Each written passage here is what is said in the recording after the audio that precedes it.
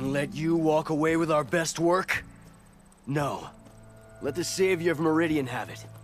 She'll test it out properly.